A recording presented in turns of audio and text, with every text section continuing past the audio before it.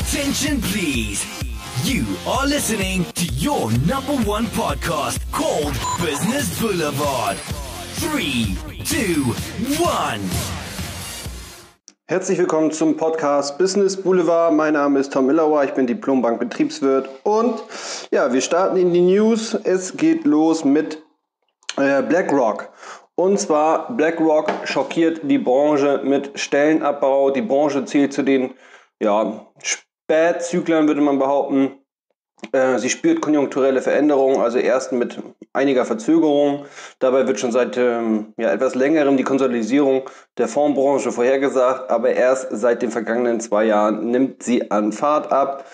Ähm, ja, BlackRock-Präsident Rob Capito ähm, ja, hat ein kleines Interview gegeben ähm, wo er gesagt hat, BlackRock ist ein Vorreiter in der Branche, in der sich der Druck auf der Ertragsseite in den nächsten Monaten und Jahren weiter verschärfen wird. Ähm, das ist wohl wahr, aber man muss ja fairerweise sagen, sowohl die Digitalisierung der Branche als auch der stärkere Einsatz passiver Fonds als Ersatz für aktives Management beschleunige den Umbau und ja, deswegen gehen Experten jetzt von Übernahmen ähm, aus, die werden erwartet. Deshalb äh, redet die Fondsbranche in Deutschland nicht mehr nur über Fusionen und Übernahmen, sondern setze derzeitige Pläne auch in der Tat um. Ähm, infolgedessen orientieren sich diese bereits um. Das ist nun mal so, Wechselkandidaten, die ihre bisherige Karriere im Asset Management verbracht hätten, seien inzwischen offen für ja, artverwandte Segmente bei Versicherungen, Pensionskassen oder Family Offices. Und in Europa spielen die neuen Anlegerregeln, auch MIFID II genannt, seit Jahren eine zusätzliche Rolle. Erstmals wird vollständige Kostentransparenz bei Gebühren herrschen. In den Berichten werden die Fondsgesellschaften auflisten, welche direkten und indirekten Gebühren bei Anlegern anfallen. Die fixe Kostenquote etwa von hm, Aktienfonds bewegt sich nach Einschätzung von Experten immer zwischen 1,3 und 1,6 Prozent und liegt damit um ein Vielfaches höher als bei börsennotierten Indexfonds, also auch bei ETFs. Ja, äh, wir behalten das im Auge. Bin gespannt, äh, wie es da weitergeht. BlackRock ja bekannt als einer der mächtigsten Finanzgeber der Welt. Dann äh, gibt es von Pro7 Sat1 eine neue Nachricht und zwar ähm, Pro7 stockt die äh, Bewertung auf bei Käuferportal. Äh, Käuferportal startet ja äh, oder startet 2019 komplett neu. Seit Anfang Januar heißt die Vermittlungsplattform für Dienstleistungen Around Home. Noch dazu verkauft das Berliner Unternehmen weitere Anteile. Der Altgesellschafter Pro7 der über seine E-Commerce-Tochter Nucom Group beteiligt ist, stoppt seine Anteile, äh, stockt seine Anteile von bislang 42 auf 94 Prozent auf. Die restlichen Anteile gehören dem Mitgründer und CEO Robin Belau. Parallel zum Kauf der Beteiligung habe Around Home auch noch einmal Kapital eingesammelt. Das bestätigt zumindest ein Sprecher. Die Höhe des Investments und die Kaufsumme nennt der Berliner ähm, anscheinend nicht. Die aktuelle Finanzierung bewertet die Vermittlungsplattform aber ungefähr mit 140 Millionen Euro.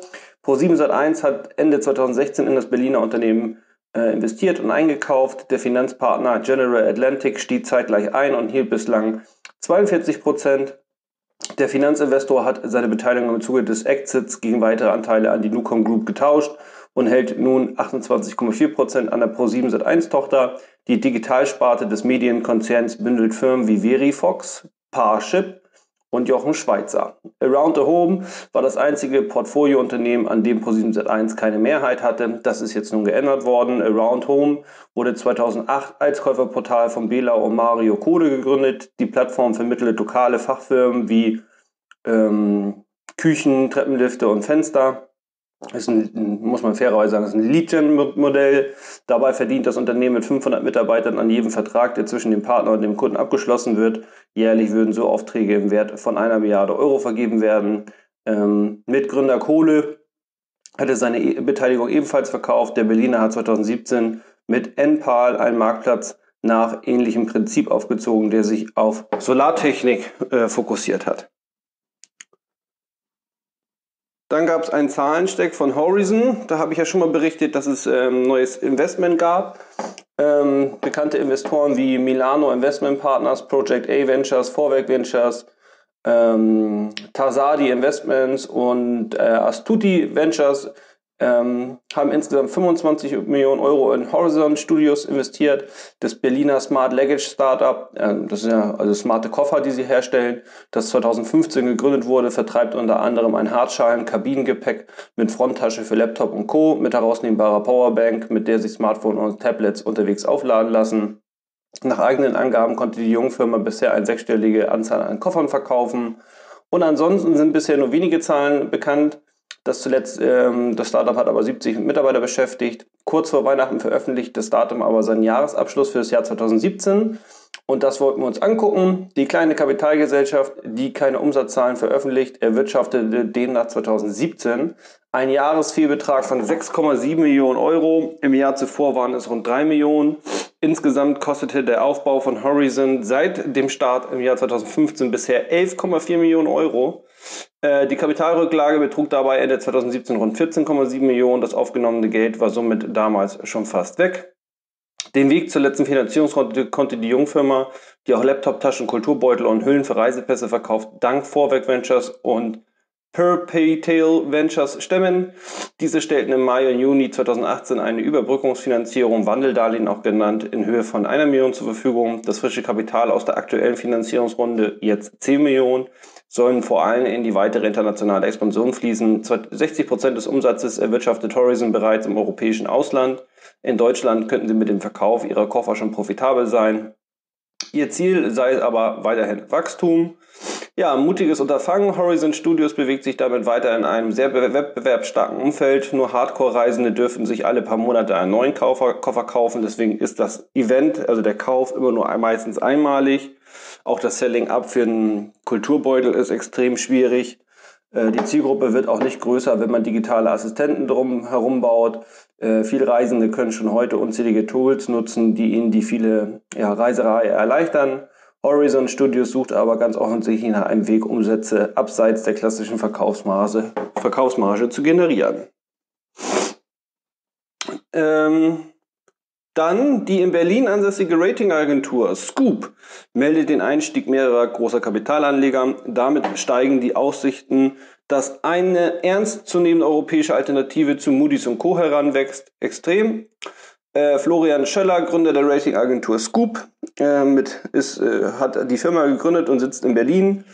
Und der Marktführer unter den europäischen Ratingagenturen, die in Berlin ansässige Scoop Group, kann einen bedeutenden Erfolg melden. Nach Information, ähm, muss ich mal kurz gucken, wo ich das her habe.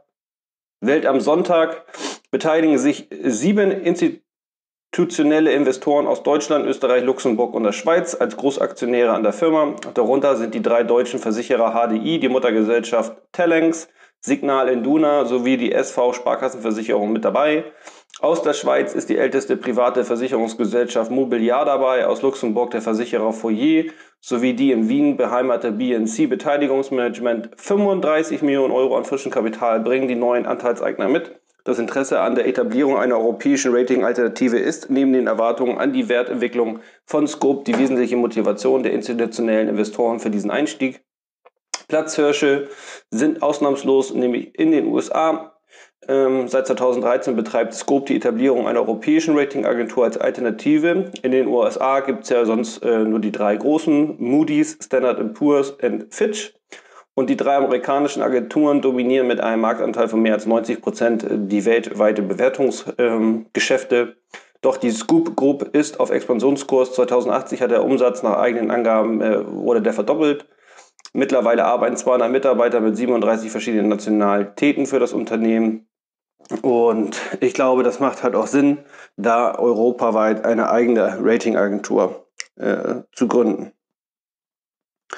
Dann gab es eine coole Nachricht und zwar der, ja, er boxte Goldman 6 aus den schwierigsten Fällen heraus, legte sich mit der US-Regierung an und den schärfsten Staatsanwälten der USA an. Die Rede ist von Greg Palm, Chefjurist und Topanwalt, der hört nämlich jetzt auf.